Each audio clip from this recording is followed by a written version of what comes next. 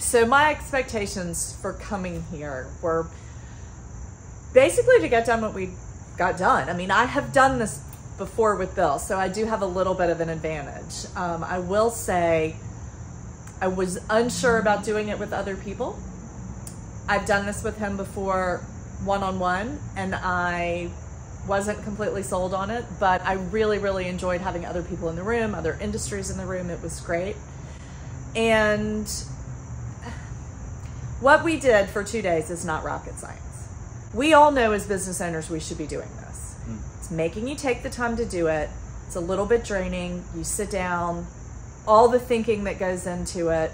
Um, but I'm now really excited again about all right, we, you know, look how far we've come. Let's keep going. What are we going to do for the next one, three, five years? The things that I think were the most impactful over the last two days, probably the biggest thing is that action item list that you sort of leave with.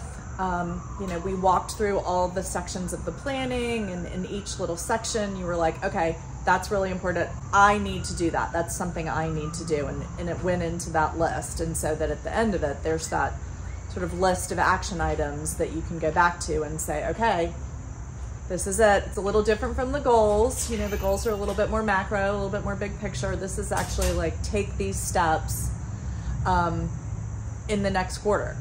And that's probably what I think is the best thing that comes out of it. The only advice I would give to somebody who's considering doing this is you probably should have done it last year. And it's the whole thing about like when's the best time to plant a tree? 20 years ago? Or if you didn't do it then, plant it today?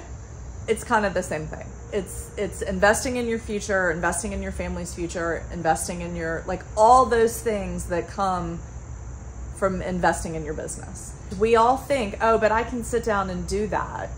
I can do 5-year planning without somebody telling me how to do it. Well, you probably don't have the willpower to actually do it. You don't know the questions to ask. It would take 21 days instead of a day and a half. Um, it's the best money that you can probably spend this year.